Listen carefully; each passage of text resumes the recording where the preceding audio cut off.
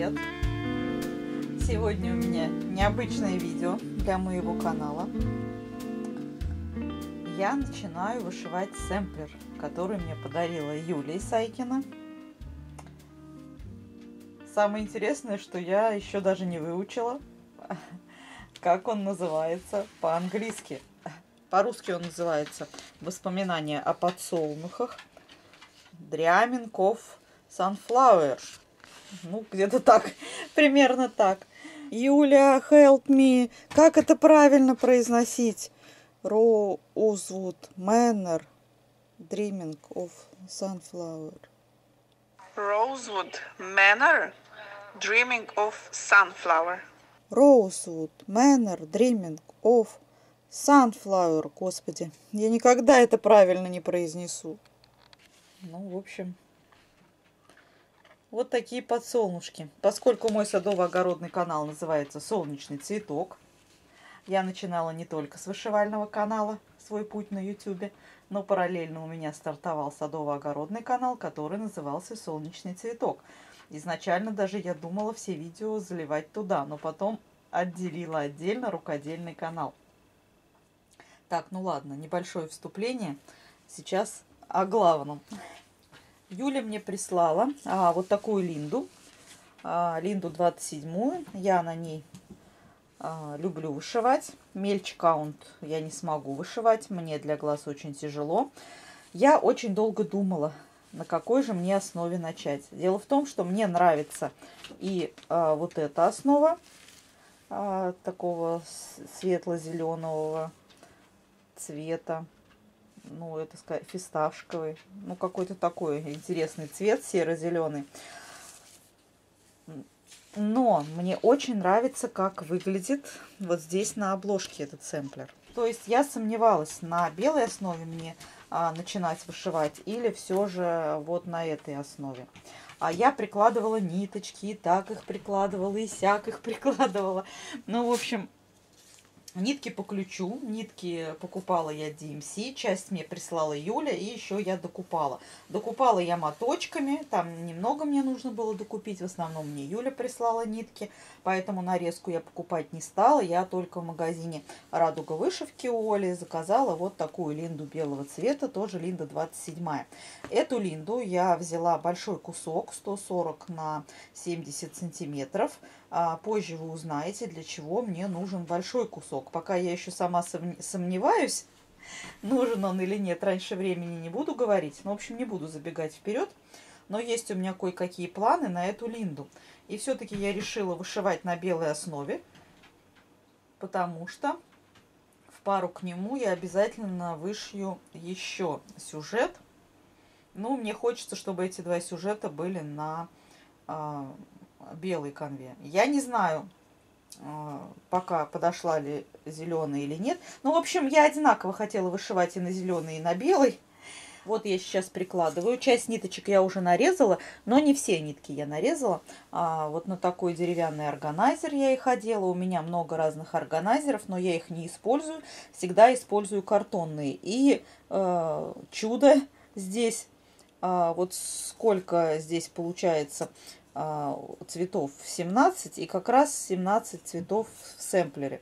А, в общем, прям как раз этот органайзер мне сюда. У меня все э, многоцветные процессы, там больше 17, а, но вот этот как раз у меня уместился. И вот смотрите, я беру ниточки и прикладываю. Вот белая основа, вот зеленая основа. В принципе, хорошо смотрится и на зеленый, и на белый. На белый, конечно же, смотрится все контрастнее. А, и я все-таки решила вышивать на белый. Я очень долго сомневалась. Я его не начинала, потому что меня сомнения одолевали. Нарезала я вот так ниточки по метру длиной. А пока отрезала 3 метра. Ну и потом буду добавлять. Я не хочу нарезать все нитки, пусть они у меня в моточках хранятся. Возможно, не все нитки уйдут на этот сэмплер. Так, уже а, возникли у меня первые сложности. Но поскольку я первый раз буду вышивать сэмплер, я сейчас буду с вами делиться этими сложностями. Ну, на самом деле рисунок тут такой примитивный. Вроде, казалось бы, ничего сложного нет. Ну да, сложного нет. Единственная сложность это откуда начинать работу? Ну, мы привыкли с вами начинать от центра, то есть разлиновали и от центра начали. Но поскольку здесь все рисунки разбросаны, я привыкла вышивать по цветам. То есть если у меня в картине идет какой-то цвет, я подряд-подряд вот так вышиваю. А я не привыкла вышивать э, без э, разметки. Я полностью разлиновываю канву. А, для меня сложно вышивать без разметки. И я решила а, разметить равномерку. А, у меня карандаш мой никогда не подводил меня маркер. Он у меня хорошо смывается. На равномерке я тоже разметку делала, и он прекрасно смывается. А, но а в чем сложность? Девочки, я не могу посчитать клеточки на равномерке. То есть для, у меня либо одна ниточка э, плюс, либо минус. В общем, я отсюда начала разлиновывать. Я ошибаюсь даже не на один квадрат, могу ошибиться на одну ниточку на пол квадратика, хотя могу и на целый квадрат. Также у меня не получается вот так ровно прочертить.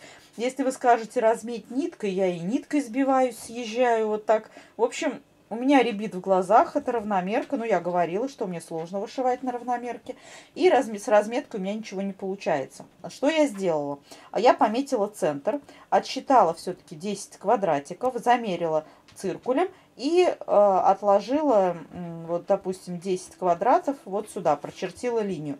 И от центра вниз 10, и прочертила линию. То есть я пометила границу и начну вышивать с правого нижнего угла, как я привыкла вышивать все свои процессы. Я все вышиваю с правого нижнего угла, но здесь я вот боялась ошибиться. Мне самое главное нужно было, чтобы вот здесь э, поля остались более-менее одинаковые, чтобы не съехал рисунок.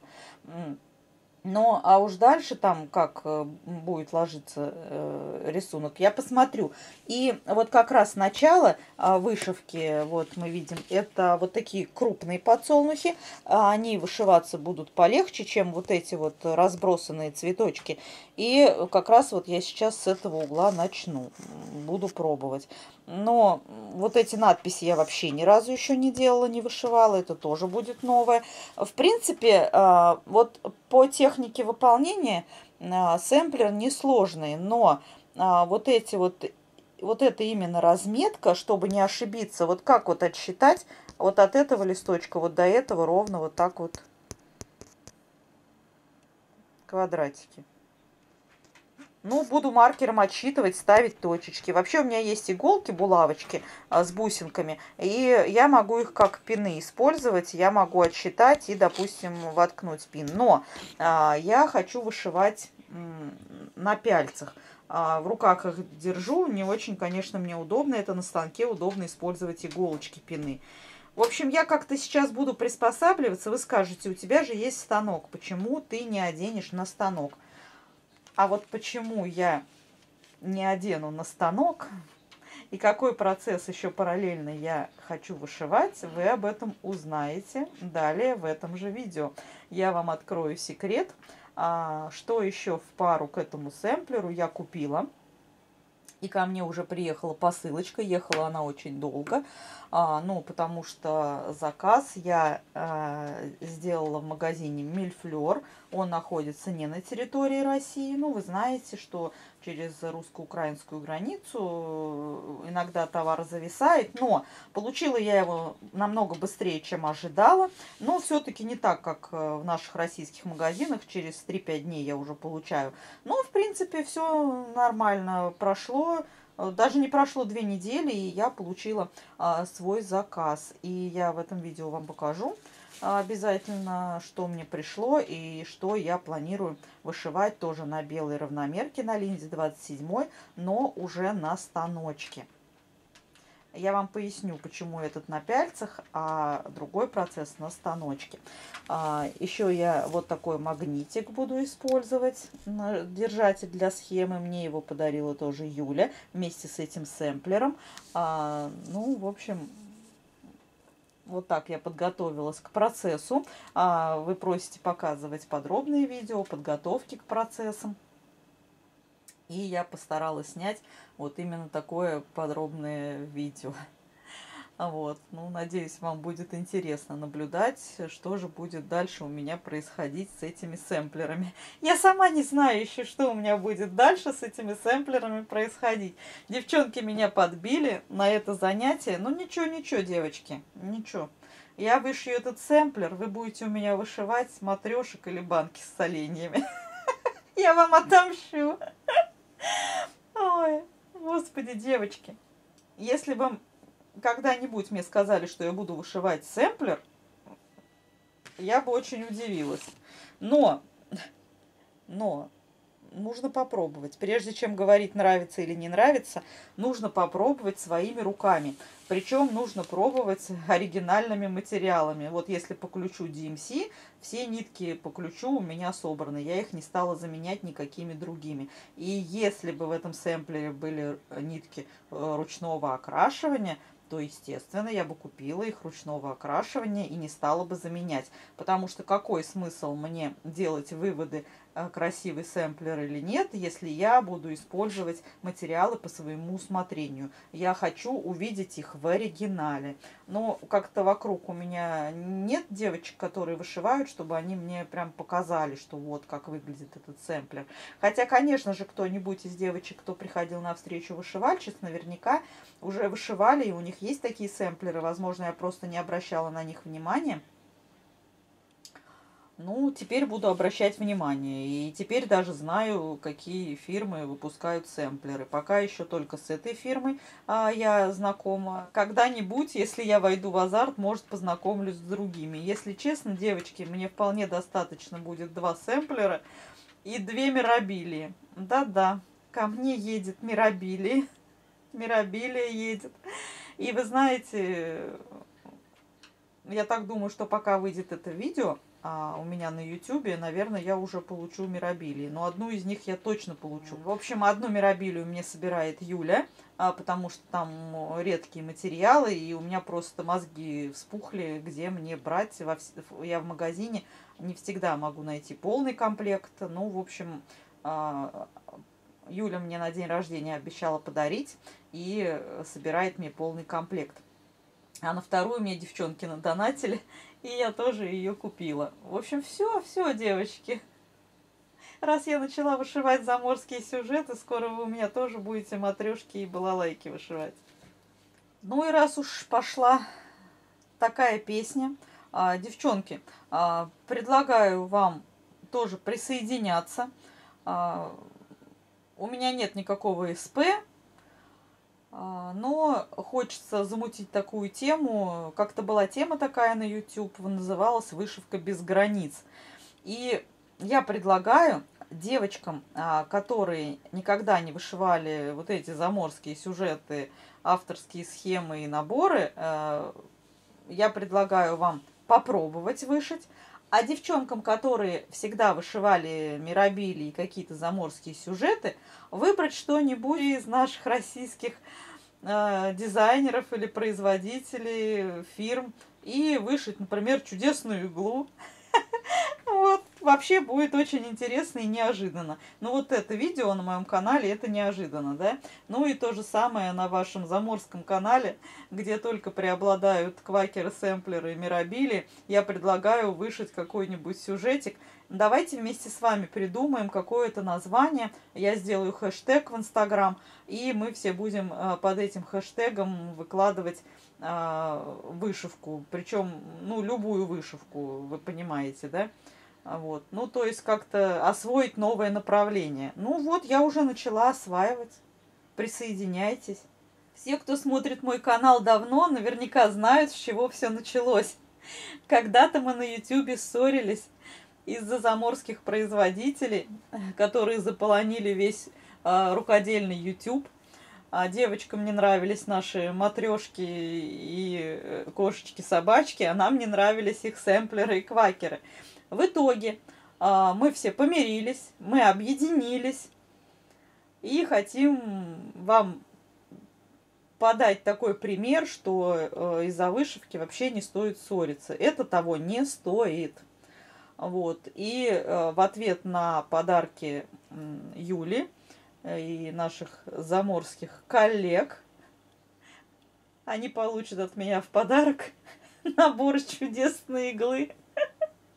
И тоже будут их вышивать. В общем, все. До этого мы просто творили, а теперь начнем вытворять. Я так чувствую, это видео у меня будет болтологическое.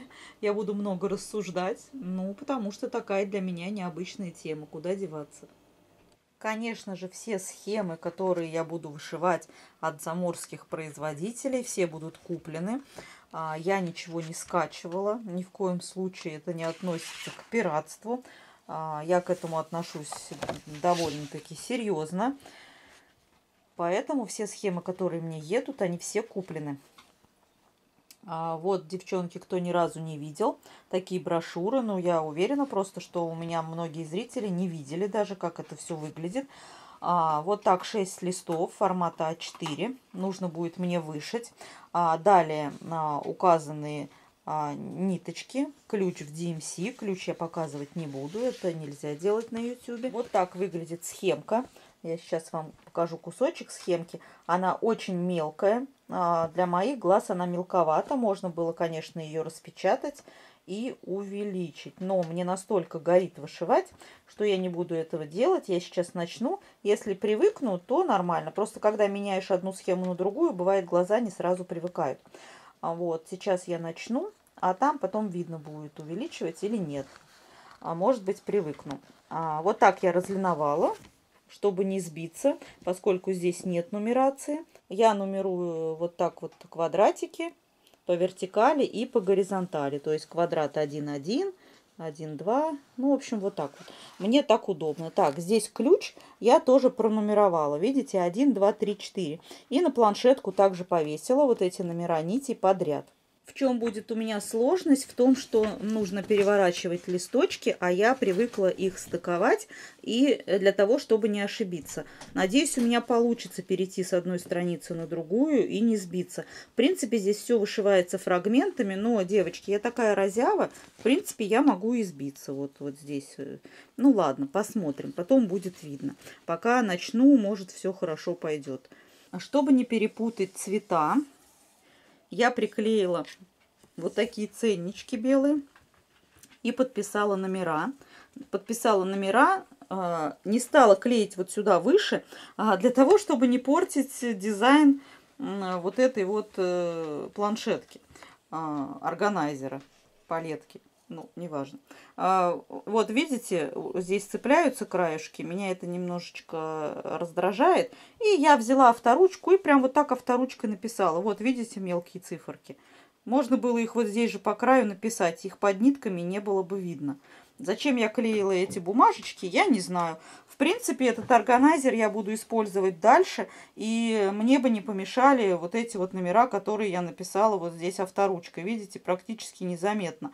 Нужно было вот здесь по краю их написать, и все. Ну ладно, вот эти этикетки, они все равно отклеются в процессе работы. Я их выброшу, а, вот, и потом еще пожирнее авторучкой вот здесь вот по краешку напишу. Ну, а что ее беречь?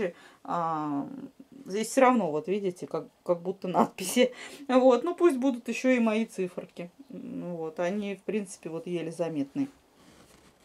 Ну вот так, ниточками DMC я люблю вышивать, на линзе 27 я люблю вышивать. А, да, очень хотела взять э, лен, а, лен а, Casual 27 аккаунт у меня уже купленный, такой винтажный, но я его решила пустить на ботаническую серию от Вероники Аженер. Да, вот еще же параллельно ее хочу вышивать.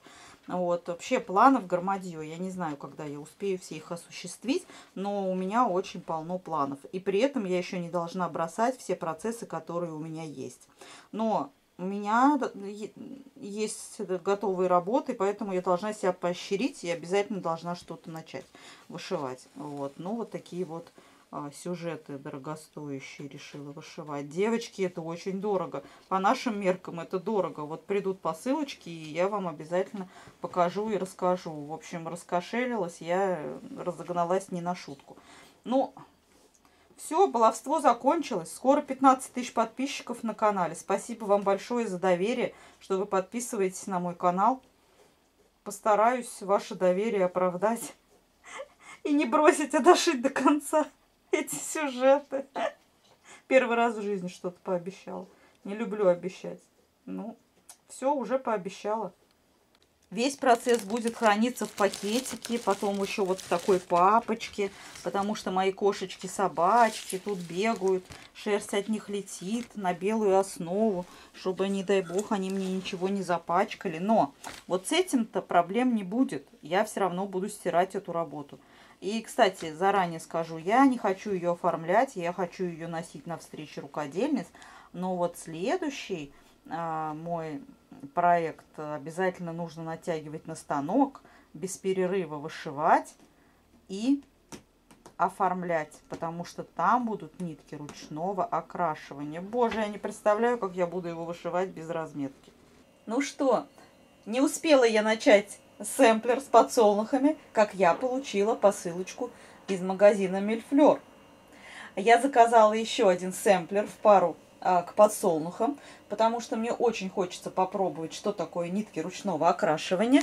Все было ровненько упаковано. А, это уже я а, пыталась заглянуть, потому что мне не терпелось посмотреть, что же приехало и как выглядят эти ниточки.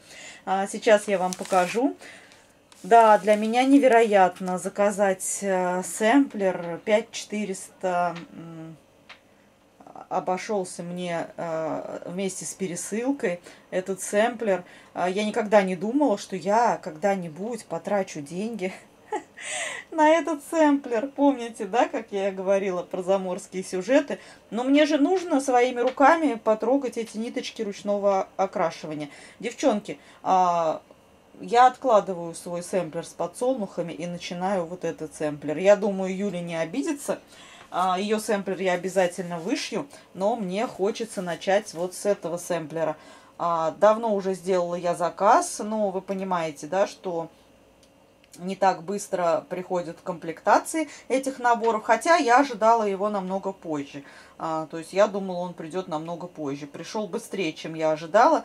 Сейчас по датам не могу вам сказать, сколько он шел, но меньше месяца это было.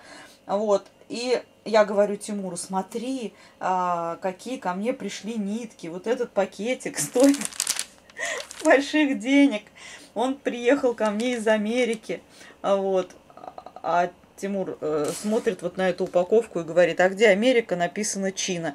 Меня током передернуло, девочки. Думаю, почему Чина? Я тут же девчонкам своим скидываю вот этот скрин. Они мне говорят, не паникуй, это просто упаковка, чтобы не помялось. Девочки, вот так в картонке все было упаковано. А, и вот такая вот, это просто картонка, это просто упаковка. Вот, потому что в Китае не заказывают ножнички, а вот эти наборы, они идут из Америки. Но я же не знаю, я первый раз заказывала. В общем, девочки, кто работает в магазине Мильфлер, не пугайте, пожалуйста, нас так. Меня вот реально током передернуло. Я не поняла. А, берите чистые картоночки. Ну, потому что у нас в России вот такие коробки выкидывают на мусорку. Это просто мусор. Поэтому я понимаю, чтобы не помялось, ну хотя бы без надписей. Потому что не сразу для таких, как я, кто первый раз особенно вышивает, а, это будет непонятно. Это ладно, у меня есть девчонки, э, много зрителей, я с ними общаюсь, они уже делали не раз заказы в магазине Мильфлер, и они мне подсказывают. А если бы мне некому было подсказать, если бы я не была блогером, а была бы зрителем, то это бы меня оттолкнуло делать э, следующие покупки. Вот, так что я реально сильно испугалась. Потратить целое состояние на эти ниточки и получить их китайские, ну вы понимаете, да, мой шок. Итак, внимание, посмотрите, какой сэмплер приехал. Вот такой сэмплер. А, я думаю, как раз в пару а, к подсолнухам он будет выглядеть прекрасно. Также я буду вышивать его на линде. У меня уже куплена линда на три сюжета. А, дело в том, что я не просто вышивальный маньяк, я серийный маньяк.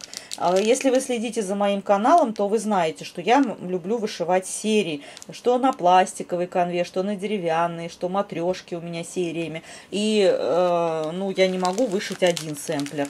А, и поскольку я хожу на встречи вышивальщицы, там девочки приносят что-то интересное и необычное, я тоже как блогер должна что-то интересное принести. Ну, в общем, сейчас я вместе с вами буду буду разглядывать э, сэмплер. Здесь вот он на превью не на белой линде. Мне очень нравится сочетание на чисто белом. Хотя тоже вот такие винтажные основы я люблю.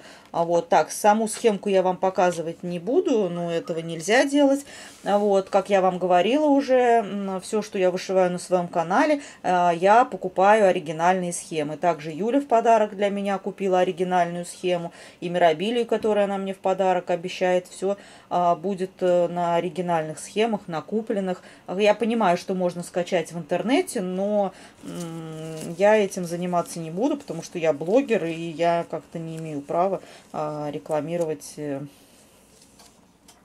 Ну, это все равно невольная получается реклама. Ну, это чисто мое мнение.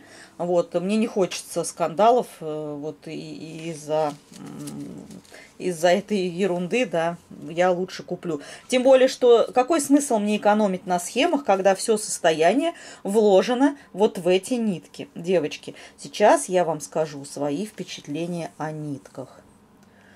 Я, конечно, мало что в этом понимаю. У меня есть нитки меланж от гаммы. Если бы я скачала схему и взяла бы нитки меланж от гаммы, ну там, конечно, другие переходы, другие. Единственное, что меня смущает, что эти ниточки будут линять, и нельзя стирать. Буду вышивать на белой основе. Мне нужно ее не запачкать, поэтому я сейчас натяну на станок и буду вышивать только этот процесс. Другие процессы я вышивать не буду, а, потому что у меня собачка и две кошечки, и, и ремонт в доме, и если я долго буду затягивать этот процесс, то мне его стирать нужно будет однозначно. А вот такие вот ниточки, девочки, не буду я а, коверкать э, английский язык, поэтому вы смотрите а, сами, что здесь э, work э, написано. А, вот а, здесь номера. Так, номера тоже, наверное, я не знаю, показывать нежелательно, а, потому что это как, как бы ключ э, к схеме. А, вот а, я вам вот так сейчас покажу. А, то есть, получается, здесь все ниточки такие. Отдельно схему-то, конечно, я не стала покупать. Или а, где бы я потом отдельно искала вот такие нитки. Ну да, можно заменить. Можно заменить на меланжевые а, нитки, например, да, от гаммы. Но мне же хочется его посмотреть в оригинале. У меня нет задачи просто вышить этот сэмплер э, тем, что попало под руку. А я хочу посмотреть, как он выглядит в оригинале. То есть я вам свои ощущения а, буду передавать. Знаете, какой смысл мне вышить, да, и сказать, понравилось или не понравилось, если я заменю свою основу, свои нитки, какие были под рукой по скачанной схеме, ну и что сказать потом, фу, мне не понравился сэмплер, да? Но это будет глупо, правильно? А вот, поэтому, чтобы говорить, понравилось или не понравилось, все должно быть вышито оригинальными нитками, э, которые идут по ключу. А вот. Единственное, что основу а, Хотя тут многие девочки на 14 каунте вышивают, и Линда, моя 27-я, вполне подойдет для такой основы. Вот. Так что вот здесь вот э, на а, конве молочного цвета, немножечко она такая винтажная, а у меня будет на конве белого цвета. Девчонки, всегда разрываюсь по поводу основы. Ну да, мне и винтажные нравятся, и белые нравятся. Я уже девчонок своих замучила, показывая им фотографии, чем я буду вышивать. Так, вот эти коричневые только получаются ниточки, а нет, они тоже какие-то такие с переходами, они более-менее однотонные. А, а вот эти все ниточки, они пестрые. И знаете, они не так, в принципе, окрашены, а, как э, как меланжевые нитки от гаммы. Здесь как-то не такие э, вот частые резкие переходы, а ниточка вот так петелькой, то есть мне их все нужно перевесить. А сейчас я это сделаю. Вот, допустим, я разверну ниточку. Так, а как она, эта ниточка? Нарезана, не нарезана. Она кольцом. Вот, видите, она вся кольцом. Так, давайте, знаете, что я сделаю? Я сейчас буду Юле звонить, и она мне все вот расскажет. И потом в следующем видео, когда я начну, я вам обязательно расскажу, что делать с этими ниточками, потому что на моем канале зрители в основном привыкли вышивать наши наборы. У меня практически нет а, таких зрителей, которые вышивают вот эти сюжеты и покупают вот такие нитки. Нет, ну, конечно же, есть, но все равно я имею в виду, что основн... основная основной контингент моего канала это такие же вот женщины, как и я, а, которые вышивают наши простые наборы. Вот. Я не знаю, я вам честно скажу, если бы я не была блогером, то и вряд ли бы и я когда-нибудь разорилась на такой дорогой сюжет. Вот, ну вот так. Это все э, благодаря Ютубу и благодаря девчонкам, с которыми я общаюсь. Так, надеюсь, я а, сюда навесил. Да, все правильно. Так, ну все, девочки, вот так все это выглядит. Необычно. Для меня это необычно. Ну, очень даже интересно. Ну что, в следующем фрагменте мы увидим, что получилось. Да, и чуть не забыла. Я так увлеклась ниточками, совсем забыла вот об этом пакетике. Сейчас посмотрим, что в этом пакетике. Это вот... Так, это уже от магазина Мельфлер. Это я не заказывала. Так, мой проект. Вот, смотрите, можно подписать. Мой проект. Кто дизайнер? Ой, девочки, как я учила название Ой, это ужас. Так, что здесь? Открыточка. Вот такая красивая открыточка. Бобинка. Ой, какой шармик ножнички. Такие классные ножнички, цапельки, шармик. Смотрите, и вот такая бобиночка, катушечка. Прикольненькая. Вот такая бобиночка вот такая катушечка. Раньше э, нитки были вот на таких катушках, только они были больше. Она деревянная. Ой, такая прикольненькая. Кстати, мне так нравились эти катушечки, которые были раньше. А сейчас, видите, они идут как сувенир. А раньше мы их в мусорку выбрасывали. Ну, дерева-то у нас в стране полно. Э, и раньше вот были все нитки на таких деревянных катушках. А, что бы сейчас не делать, да? Ну, сейчас у нас много китайских ниток, своего производства уже мало. Но вот на таких катушках, я помню свое детство, все нитки были на таких красивых катушечках, только побольше. И такой вот шармик. Шармик очень-очень красивый, такие ножнички, цапельки. Ой, вообще обалденный. Спасибо большое, девчонки, э, девочки, кто работает в магазине Мельфлер. Такие приятные сувениры. Но э, для нас, э, россиян, вот они необычные. А, вот такие вот бобиночки пластиковые. А, так, это я не знаю. Это я не знаю для чего. Наверное, как-то они куда-то крепятся. Но у меня такого нет. Вот, все такое заморское. А это образцы равномерок. Ой, как классно. Я сейчас... Прям у меня молниеносная мысль такая. Собрать образцы равномерок. Здорово, слушайте. А где можно купить образцы равномерок? Надо мне у Оли в Радуге вышивки спросить, а где можно заказать образцы равномерок. Или у нее там попросить кусочки, чтобы она мне продала, нарезала. Здесь вот таких два образца. И написано Belfast 32 и а, так, Пермин. А, Пермин, я не знаю, какого, какой каунт. Наверное, тоже. Так, судя по крестику, тоже, наверное, 32 -й. А что написано 22 -й? Нет. Тут точно, точно написано 32, здесь не знаю. Я э, на 32 не могу вышивать, для меня мелко. А я могу либо на Belfast 28, а, либо Линда 27. Это соответствует 14 каунту канвы, а вот это вот для меня мелко. Но образцы мне собрать, конечно же, хочется. А вы знаете, собственно, мне образцы нужны даже для того, чтобы зрителям своим показывать, рекомендовать, потому что на сайтах фотографий, по фотографиям вообще невозможно понять, а, какого цвета. Вот сейчас у меня камера, когда я настраиваю правильное освещение, у меня показывает точь-в-точь точь такой же цвет, какой он есть на самом деле. Если я буду фотографировать, э, выкладывать фото, то оттенки будут разные при разном освещении. Вот, э, поэтому ну, хорошо бы, если бы магазины образцы высылали блогерам, сотрудничали бы с блогерами.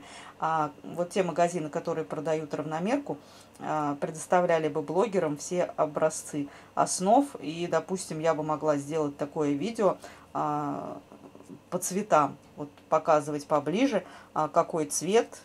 Вот, допустим, вы видите, да, что когда вы на сайте заказываете 3609 или вот артикул, да, 4053, чтобы вы видели, а, какая это основа и для чего она подходит. Вот, например, да, я беру нитки, вот от этого сэмплера и прикладываю, да, вот к основе. И вы можете посмотреть, например, к какой основе подходит, а к какой не подходит. Вот, да. А, это для зрителей проще будет подбирать основу. Например, я вышиваю какой-то сюжет и показываю вот так нитки, и, э, допустим, положила я ниточки, и вот так вот положила основу. И э, зрители э, смогут сориентироваться, какую основу им выбрать по тот или иной сюжет. Но было бы классно, да, если бы магазины очень тесно сотрудничали с блогерами. Ну, я не говорю, что именно со мной. У нас же есть много блогеров, которые э, вышивают именно вот такие заморские сюжеты. Вот. Ну, нашим российским магазинам тоже не мешало бы сотрудничать. Меня зрители в личку очень часто спрашивают, а как вы думаете, вот эта основа подойдет? Или а как вы думаете, вот эта фотография, это белый цвет или молочной основы? Ну, и мы обсуждаем.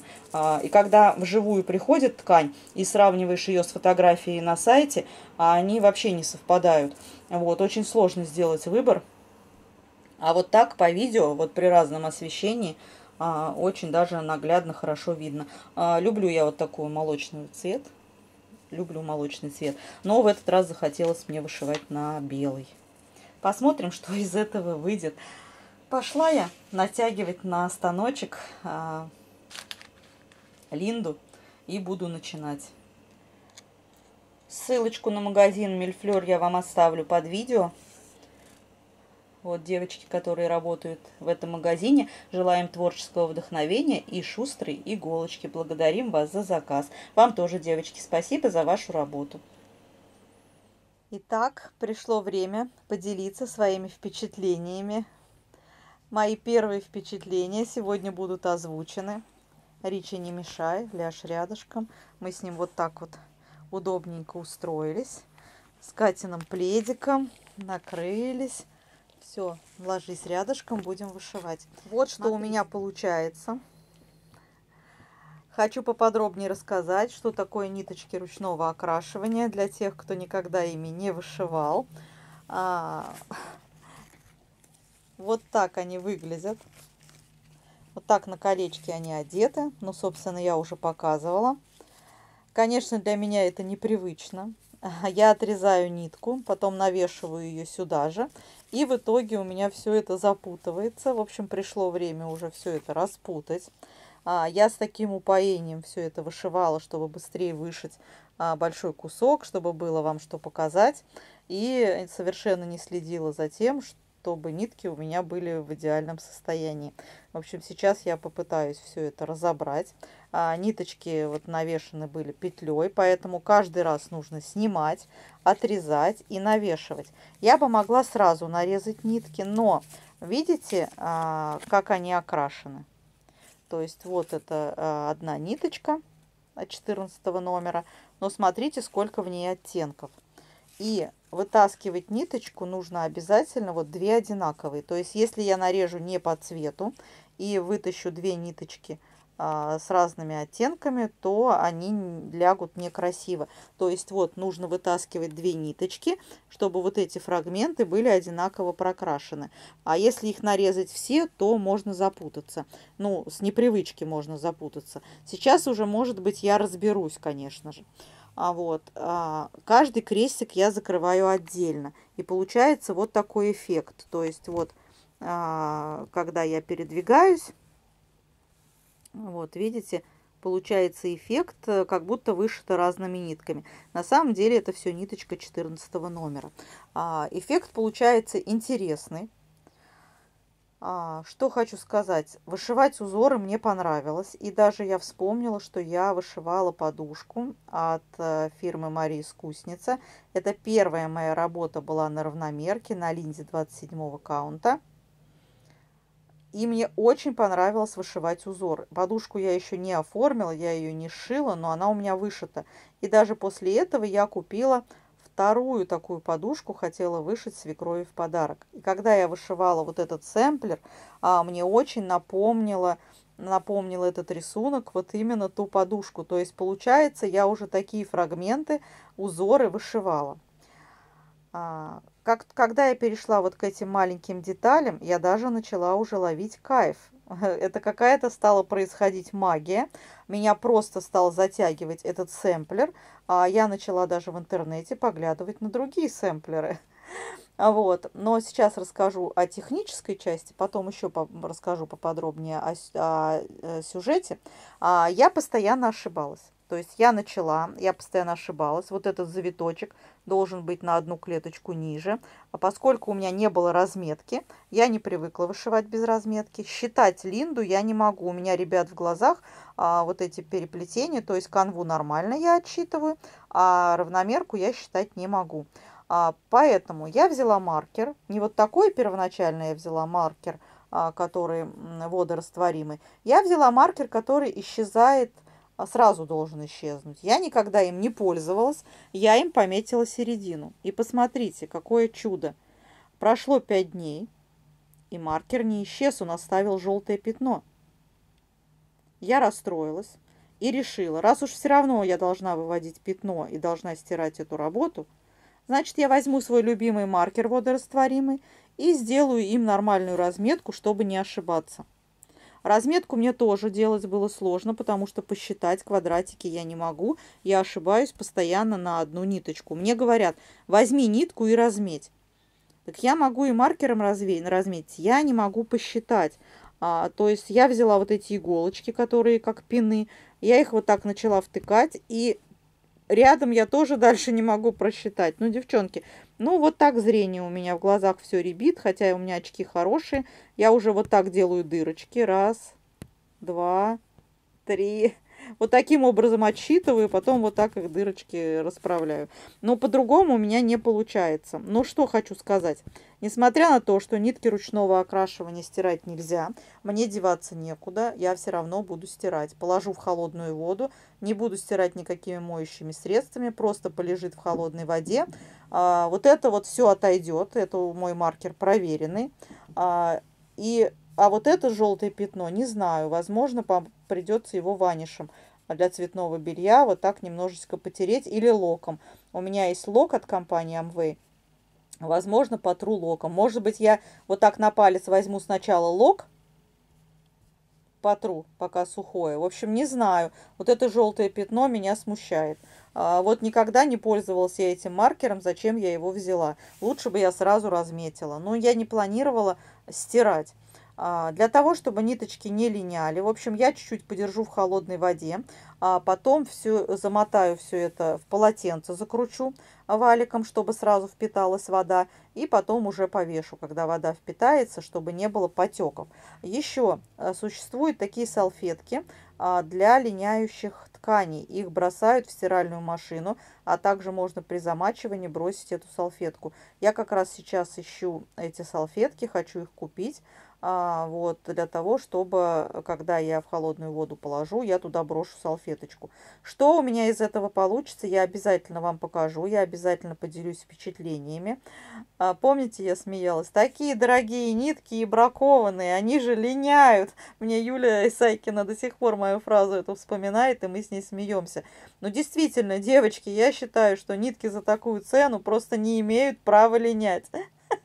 Я до сих пор в этом убеждена. Но а, сейчас а, поподробнее о цене. А, да, дорого. Этот сэмплер э, мне обошелся 5 э, с лишним тысяч с пересылкой. Очень дорого. Но вспомним мою подушечку от фирмы Мария Искусница. Там кусочки маленькие линды и вот так маленький узор. А, к сожалению, я не сфотографировала, у меня нет фотографий. Если найду, я вам сейчас э, на экране их покажу. А, я не все, кстати, фотографии выкладывала в соцсети, оказывается. Видео-то снимала, а фото не выкладывала. А, и дело в том, что там вот такая вот небольшая закорючечка, вот такие кусочки линды, и сто, там хлопковая обратная сторона, ну, об, обычный хлопок, а, ситец, ситец или бязь, и этот набор стоит около 1000 рублей. Так если вот такие маленькие кусочки стоят 1000 рублей, причем там нитки э, финка, классные нитки, но они не ручного окрашивания, а обычные нитки, и стоит 1000 рублей. Здесь огромный сэмплер, огромный. То есть если я эти фрагменты э, умножу э, на количество вышитых фрагментов в той подушечке, ну, бязь тоже там в этой подушечке не так дорого стоит. Там же не какая-то дорогущая, да, ткань. Там нет наполнителей, нет молнии в наборе. А, ну, то есть это не полностью э, сшитая подушка. А вот, э, девочки, вот как сравнивать цены, да? Вроде в общей сложности отдать 5 с лишним тысяч жалко, но купить две подушки за 2 тысячи и вышить маленькие фрагментики мне было не жалко. Ну, то есть, э, вот тоже по цене я не знаю, как сравнивать. А, размер огроменный, а, получается, по-моему, 32 на 32, вот на 14 каунте. А, так, у меня этот кусок, а, у меня кусок 40. Так, а сколько у меня? 40 на 40. 50 на 50 на 50. Вот так у меня ширина 50, а так у меня по-моему, по-моему, 48, что ли. Ну, неважно, ладно, 50 на 50. А вот, ну, в общем, девочки, очень-очень много. Это еще только начало. Это даже я еще не вышила полностью вот этот фрагмент, один лист. А, таких листов будет 6. А, ну, вот я перешла вот ко второму листу. Вот это уже на втором, да? Вот. Это вот, вот так идет один лист. Всего их 6. А, сэмплер получается огромный. Вот. Так что по цене, в принципе, э, я считаю нормально, если учесть его размер. Вот. И учесть количество ниток э, ручного окрашивания. Вот, то есть столько же стоит нитки, получается, финка. Да, там их чуть-чуть было в наборе на этих ниток, э, и маленькие были фрагменты узора. Вот, раньше я не понимала эти сюжеты. Вообще не понимала. Я люблю сюжетные картины и думаю, зачем я буду эти загогулины вышивать. Но чем больше я их вышиваю, тем больше мне их нравится вышивать. А, вот, э, знаете, напоминает мне орнамент. Вот а, раньше вышивали, а, расшивали а, так, костюмы а, национальные, а, рушники, полотенчики, скатерти – в общем, да, раньше вот эти орнаменты были модны. На прикладных вещах все вышивали орнаменты. Но даже вышиванки. Вот возьмем вышиванки украинские, и тоже там э, идут орнаменты. А, вот, э, то есть в этом есть какая-то своя прелесть и какой-то свой такой колорит. А, ну вот не знаю, девочки, вот я вам честно говорю свои впечатления – а, вот об этой работе. Какая-то есть магия. Вышиваешь, вышиваешь, и хочется продолжать и продолжать. Вот так же, как у меня было с подушкой. Хотя эту подушку я уже забыла. Я вышивала ее давно, и я просто забыла о ней. И вспомнила только, когда я вот эти вот загогулинки начала вышивать. И вспомнила, как мне понравилось вышивать подушку. И, кстати, вы можете посмотреть э, то видео, оно есть на канале, и там я свои впечатления рассказывала. Но как-то я об этом забыла. И почему-то я сэмплера не ассоциировала с этим орнаментом на подушке. Вот только когда я начала вышивать, я вдруг вспомнила. А, вот, так что вот так. Смотрите, как интересно. Вот здесь вот надписи в одну ниточку выполняются. А, надписей здесь будет много. Ну вот только сложности у меня а, с тем, что нужно считать. А поближе сейчас покажу крестики. Закрепляю я микростежком. Ну, может, кое-где его и видно, этот стежок. Вышивать на линзе мне очень нравится. Вот единственная проблема это разметка и в том, что я ошибаюсь. Вот если бы я не размечала квадраты, мне нужно было бы посчитать э, э, крестики вот до этих деталей, я однозначно бы забивалась. Я взяла уже циркуль измерительный и, и замеряла вот так, потом дальше отмеряла, дальше. Вот видите, даже тут я ошиблась, пришлось пересчитывать. А потом вот смотрите, я черчу, черчу и раз – съехала на один квадрат. Вы говорите, разметьте ниткой. Так так же я и ниткой сюда съеду. Но у меня, ребят, девчонки, вот это вот все ребит в глазах. Я даже не могу приглядываться. Но опять же, ничего. Я заказала еще мирабилии. Вышивать также буду или на линде, или на льне 28 каунта. Ну, или на 27 или на 28. Понятно, что размер будет огроменный. А, вот, но в любом случае я буду в перемешку со своими сюжетами еще и вышивать э, вот такие сюжеты.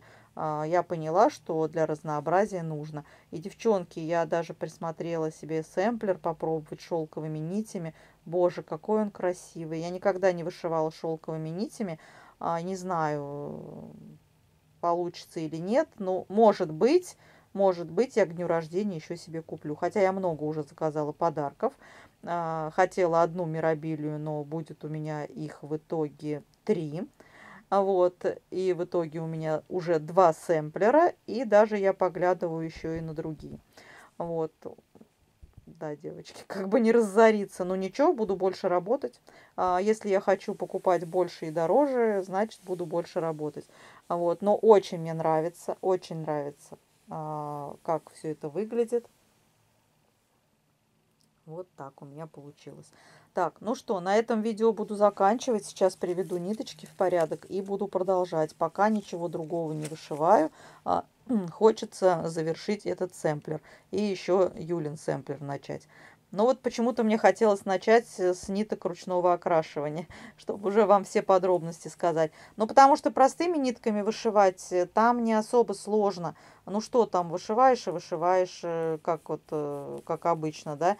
А вот именно с нитками ручного окрашивания здесь нужно было каждый крестик отдельно. Вы знаете, вот я когда начала вышивать, думала, ой, подумаешь, каждый крестик отдельно закрывать, ой, это легко. А на самом деле забываешься. То есть уже рядок вышила назад, а потом думаешь, ой, надо же закрывать. Когда задумаешься, забываешь э, закрывать каждый крестик, это уже машинально происходит, вышиваешь рядочками. Ну ничего, приспособлюсь. Понравилось очень мелкие детальки вышивать. Единственный минус, каждый раз нужно делать закрепки. Я их делать не люблю микростежками закрепки, люблю вышивать длинными нитями по цветам, но перетяжки все же большие делать не хочу а, и делаю закрепочки. Ну, в общем, вот такая у меня получается красотень. Если вам понравилось, не забывайте ставить лайки, подписывайтесь на канал. С вами была Инесса. Всего вам доброго. Желаю удачи. Пока-пока. Thank you.